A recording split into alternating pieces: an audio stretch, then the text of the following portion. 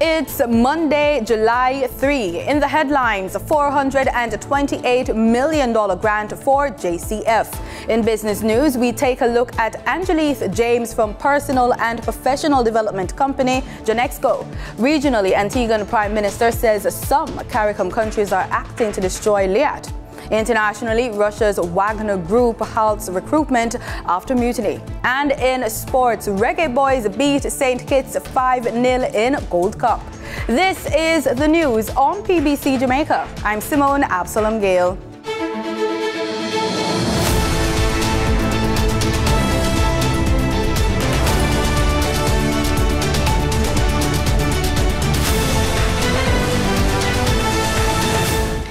Officers of the Jamaica Constabulary Force will soon have use of five ambulances and 33 pickups through funding from a $428 million grant. The government of Japan has signed off on the funds to help boost the mobility of the Jamaica Constabulary Force. The money is being provided through Japan's economic and social development. During a signing ceremony on Friday, June 30, Minister of Finance and the Public Service, Dr. Nigel Clarke, pointed out that Japan has been a dependable and long-standing partner of Jamaica and has supported the country's development in several areas. The ambulances will be used to support emergency relief activities by the JCF's Medical Services branch to transport sick and or injured members of the force. One unit will be deployed to each of the JCF's five areas. The standing orders of the Senate have been amended to include the terms of reference for the caucus of women parliamentarians. The motion was approved during the sitting of the upper house on Friday. Minister of Foreign Affairs and Foreign Trade, Senator Kamina Johnson Smith, said the role of the bicameral caucus involves a similarly established committee of the lower house. As it, rights are eroded elsewhere in the world, and we see rights being strengthened here, with even starting with the public sector leading the way in terms of maternity leave and the family leave, that is the adoption and paternity leave. Uh, you know, that's how it started with equal pay as well.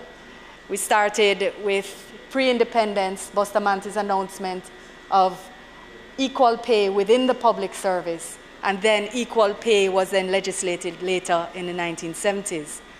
Uh, so it's important for governments to lead, and it's important for parliaments to lead.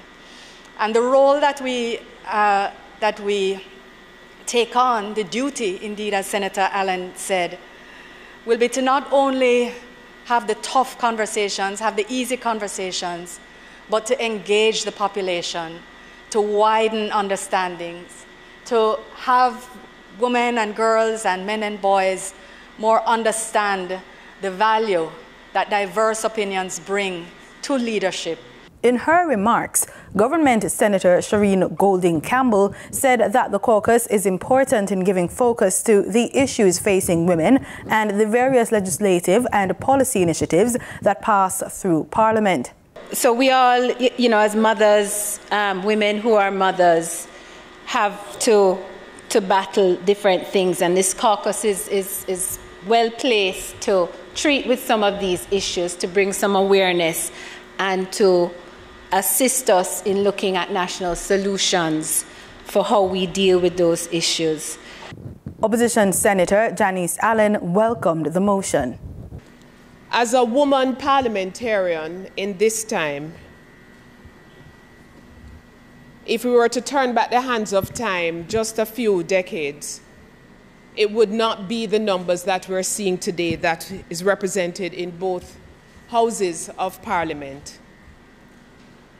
And the commitment of this committee or this caucus to ensure networking and solidarity around critical issues relating to women in this country. It goes without saying that there is importance to work and the need to work across party lines. The National Housing Trust, NHT's external mortgage financing program takes full effect in August, and contributors will still be able to access benefits directly from the institution. Assistant General Manager for Corporate Communication and Public Affairs, Dwayne Berbick addressed the matter at a JIS think tank.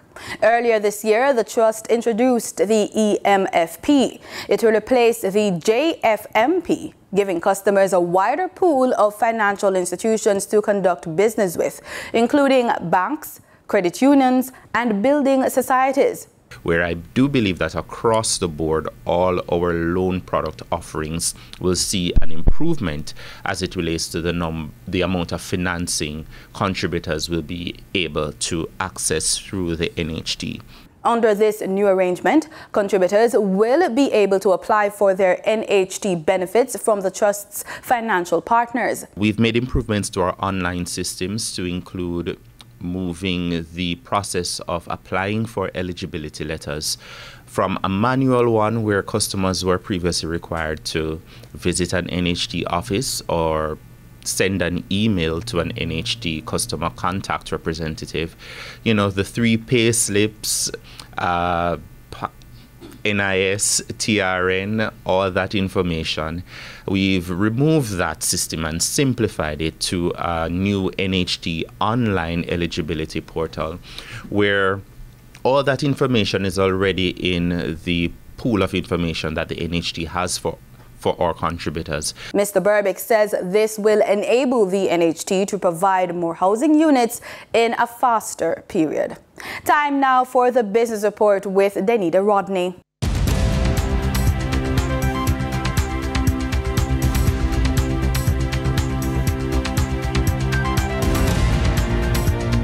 Do you think you're in need of a little personal and professional development? Well, this week's young boss, Angelique James of Janexco, has made it her mission to help you with just that.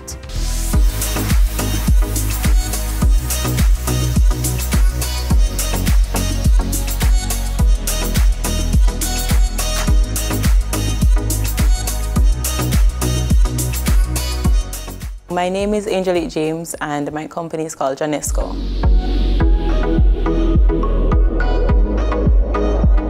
So we deal with a lot of personal and professional development. We provide coaching as well as consultation services for individuals who want to expand, improve, strategize, just to get you to your next level so you can operate at your best.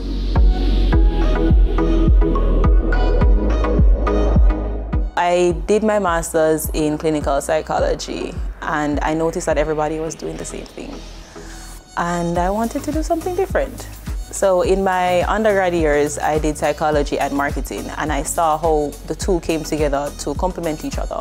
And the more reading I did, I realized that coaching is essentially the segue between business and therapy to get the individuals to meet their goals at a faster rate rather than slow progress.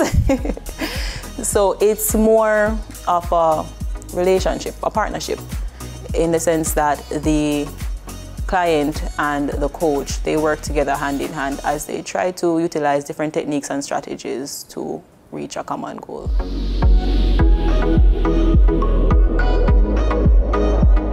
It's been very welcoming. So individuals who hear about the different ideas, hear about our plans, what it is that we actually offer, they tend to be very warm and inviting and willing to engage and hear more. So it's all about exposure. That has been one of our challenges. We've been trying to get ourselves in different spaces, trying to ensure that we have coaches that meet a variety of needs because not everyone wants to wants help for professional or personal development. Some persons want it for health, some persons might want it for fitness, finances, performance. It varies for everyone.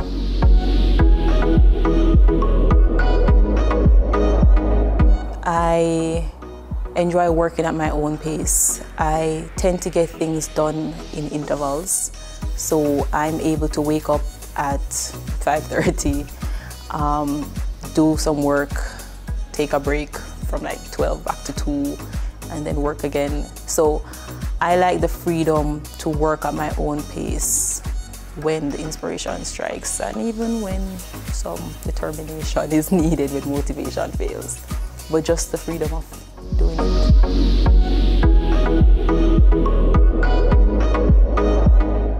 just do it. so even though Janexco is relatively new, it's not my first venture. I've tried several different business that have, some have failed, some have succeeded, but it's about just doing it. Just do it. Regardless of the risk, regardless of how you're feeling, if you might not be experienced, you might not feel ready, but just do it regardless and trial and error work it out as you go along. So we have been experimenting a bit with how individuals use art to express themselves when words fail. So we've actually partnered with House of Flames um, to do uh, art exhibit, showcase live performances, the whole work, all different aspects of art. Just have individuals come and show what they have we do it the last Sunday of each month. Um, we just try to relax, unwind, do something different. Just express yourself. As I said before, when words fail, art steps in.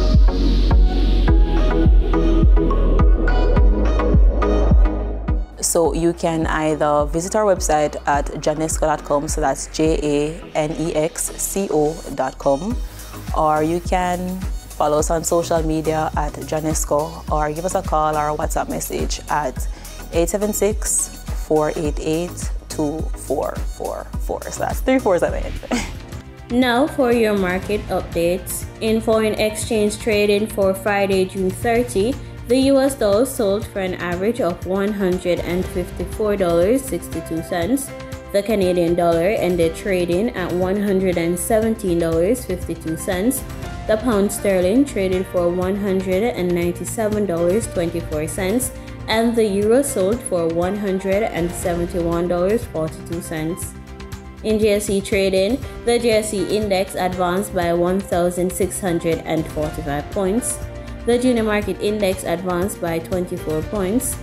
The combined market index advanced by 1,755 points and the All Jamaican Composite Index advanced by 2,559 points. Overall market activity resulted from trading in 107 stocks, of which 50 advanced, 40 declined, and 17 traded firm. Stocks advanced for 138 Student Living Jamaica Limited Variable Preference, Access Financial Services Limited, and Barita Investments Limited. Stocks declined for Cargo Handlers Limited, Caribbean Assurance Brokers Limited, and Caribbean Flavors and Fragrances Limited. Trading firm were 138 Student Living Jamaica Limited, AMG Packaging and Paper Company Limited, and Eppley Limited 7.75% preference shares. The overall volume leaders were Wigton Wind Farm Limited ordinary shares with over 9 million units, one on One Educational Services Limited with over 5 million units, and Tree Spices Jamaica Limited with over 4 million units. In regional stocks in Trinidad and Tobago, Calypso Macro Index Fund posted a volume of 280 shares. On the Barbados Stock Exchange, zero securities traded. In regional business, the Guyanese government is looking to stimulate small business development across the country by doling out about 1.8 billion Guyanese dollars in financial support to thousands of small business owners. This is according to Vice President Dr. Bharrat Jagdeo. We reformed that program and we reduced the sum so that more people can benefit. And we prohibited members of parliament from getting any money from this grant. So that is a separate grant. That's a, through the Farmer SLED program. That is the one I'm talking about. If you live in Berbice or Region 2 or Region 3 or in the East Coast or Region 10, you, we haven't done it as yet. It would be done over the course of the next few months. Separately, there has been the Small Business Bureau grant that is administered through Minister Onesia's ministry. And um, on that grant, they had they had um, collected applications from 2021. So a number of people been calling, and they have a more elaborate process there. Get cash flow, records, a whole range of stuff. Get NIS compliance, very burdensome. And it's a trouble for many small people. So we now decided there are 700 odd, maybe nearly 800 outstanding applications there. People still have expectations. So they're all, we've decided they would all get some grant through that ministry. And they have a pool of money and those people will receive. Those are separate too, but they came through a different stream, through a, a different application stream for the grant. So I want those who had applied through the Small Business Bureau to know that we have addressed that concern. In international business, data showed Wall Street closed higher over the weekend to end the second quarter and the first half of the year. U.S. stocks closed higher on Friday to end the second quarter and the first half of the year. The Dow on Friday rose 8 tenths of 1%, the S&P 500 gained 1.2%, and the Nasdaq climbed nearly 1.5%. For the January to June period, the tech-heavy Nasdaq finished up more than 31%. Its biggest gain in the first half of the year in 40 years as inflation showed signs of cooling. A Commerce Department report out Friday tracking a key inflation measure closely watched by the Federal Reserve showed price increases grew at a slower pace in May versus April and are now below 4%. The data fueled hopes the Fed could be near the end of its rate hiking cycle. But Retirement Planning of America founder and CEO Ken Moraif says he thinks the Fed has a way to go before it finishes raising rates this year, which will cause turbulence in the markets. We see the CPI continuing to uh, bottoming out here in, in July at under 3.5%, but then starting to trend back up towards 4%. Then that bodes for the Fed raising interest rates more than two times in the balance of this year. And, and it also bodes for the Fed not lowering interest rates until next year. That being the case, the bond market hasn't priced that in. We don't think the stock market has. And that's going to cause the turbulence that I'm talking about, and why we think that there's going to be buying opportunities along the way when we get that turbulence. In terms of individual stocks, Nike fell close to 3% after it forecast first quarter revenue below Wall Street expectations. Shares of Carnival, which notched their best month and quarter on record, jumped nearly 10% on Friday after Jefferies upgraded the cruise operator's stock to buy from hold. And shares of Apple jumped more than 2% as the iPhone maker returned to a $3 trillion market valuation. In market data for oil, oil rose after top exporters Saudi Arabia and Russia announced supply cuts for August, overshadowing concern over global economic slowdown. Brent crude futures were up 32 cents at $75.73 a barrel, and West Texas Intermediate crude rose 32 cents to $70.96. And that was the business report on PBCJ. I'm Danita Rodney. In regional news, Antigua and Barbuda's Prime Minister Gaston Browne says some countries in the region have acted in a way to destroy Antigua-based airline Liat. He is also concerned that some CARICOM countries, quote, want it all, end quote, and should temper their ambition, as he points to insularity in the regional bloc. Garfield Burford reports. Prime Minister Browne says the community is yet to harness the full potential of the regional services sector. That's despite services accounting for the lion's share of economic activity across CARICOM. He points to the need to address regional transportation given the geographic spread of the member states and reaffirms this requires collaboration among the countries of CARICOM. I am of the view that in order to have sustained re regional transportation services, that the governments must take some responsibility to develop a sustained regional or even sub-regional carrier to supplement CAL. This idea that we must depend exclusively on um, the private um, entities within the Caribbean. That is not a sustainable model. However, the Prime Minister says some leaders have not been singing off the same hymn sheet on the issue. Antigua and Barbuda has been providing aviation and aviation services or transportational services to the Caribbean region. And I find it untenable that despite the fact that the treaty calls for, uh, let's say, equitable benefits, that you have some countries within the region trying to not only compete, but to displace Antigua and Barbuda as a provider of transportation services. So instead of cooperating with um, Antigua and Barbuda to restore LIAT, or for that matter, to start a completely new entity, you have countries going outside of the region to facilitate and to establish other private entities in order to literally destroy LIAT. The Prime Minister makes it clear this runs counter to the ethos of regional integration. He didn't name the countries, but it's clear he was referring to some of the more developed countries or MDCs within CARICOM. You can't have it all. You can't be, for example, the provider of um, goods to Antigua and Barbuda, in which we probably spend at least $120 million a year buying goods from Caribbean countries. But on the other hand, you want to also decimate our small transportation sector that is not in keeping with the spirit of the Treaty of Chaguaramas. And I want to call upon my colleagues to kind of, you know, manage the ambition to get to have everything. You can't have everything. As he did at the flag raising ceremony on Tuesday, the Prime Minister has again raised concern about actions of some member states and the community who are undermining the progress of the less developed countries or LDCs. The head of government makes it clear, though, that the Twin Islands state remains rooted to the integration project. The High Commission of Canada, through the Canada Fund for Local Initiatives, donated over 80,000 Canadian dollars to the Grenada Planned Parenthood Association and Grenchap Inc.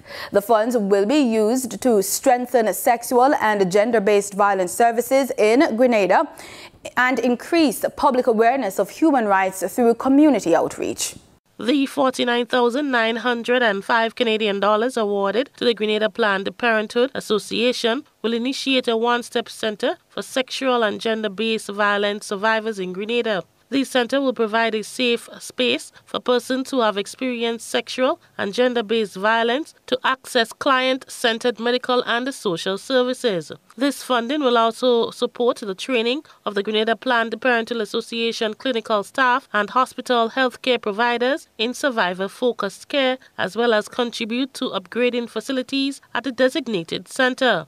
The Canadian $32,715 donated to Grenchap Inc. will facilitate a training program and communications campaign aimed at building awareness around human rights and sexual gender based violence in Grenada. 15 community mobilizers will benefit from the training on Grenada's Domestic Violence Act 2010 and the social and emotional learning in 14 community forums across Grenada, Carriacou, and Petite Martinique. The Canada Fund for Local Initiative is a program designed to support small-scale, high-impact projects in developing countries that aligned with the Government of Canada's thematic priority areas for engagement.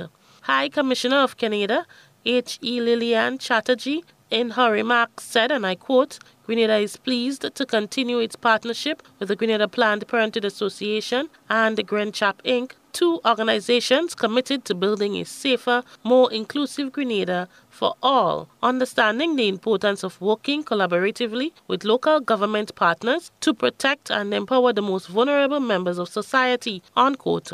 Grenada Planned Parenthood Association and Grenchap Inc are two of many civil society organizations across four eligible countries in the Eastern Caribbean, which were successful in the 2023 2024 CFLI project, which administers 300,000 Canadian dollars in available funding this year.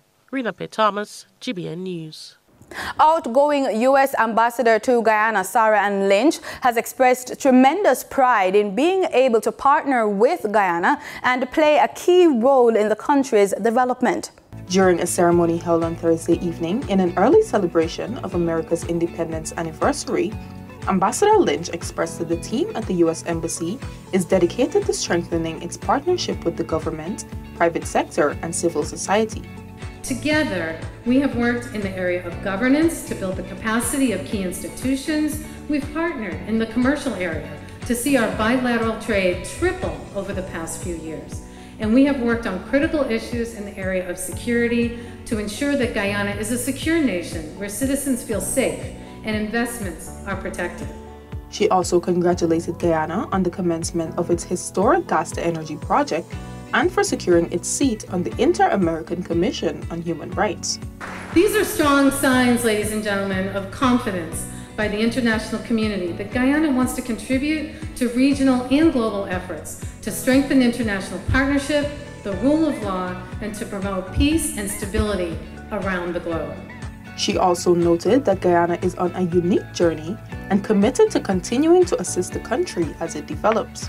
I could not be prouder of our enduring partnership between our two nations, which I know will continue long past my tenure in Guyana.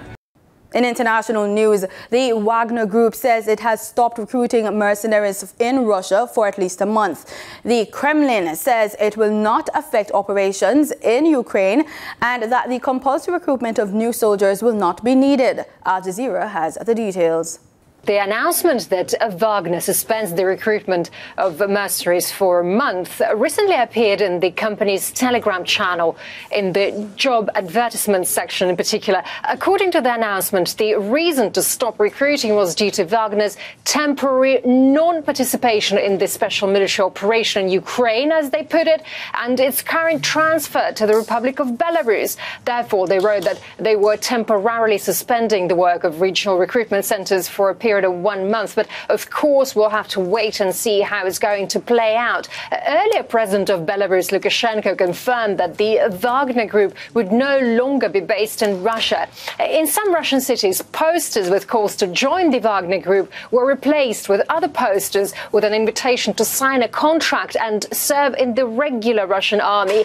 Uh, by the way, there were also reports that Prigozhin's another massive asset, his media empire, is coming to an end too. Uh, Prigozhin was building it for at least 10 years, but now its websites are being blocked and its offices are being searched. There are many reports that employees of those media sources are being fired now. That's despite earlier reports that probably all those people would remain in their positions and their news outlets would be transferred to another owner. Uh, journalists used to call Prigozhin's media resources his troll factory. Uh, its employees used to write comments in support of the authorities, criticize the opposition, and promote the so-called patriotic views. Uh, also interesting that in February 2018, the U.S. Department of Justice accused Prigozhin of interfering in the 2016 U.S. presidential election.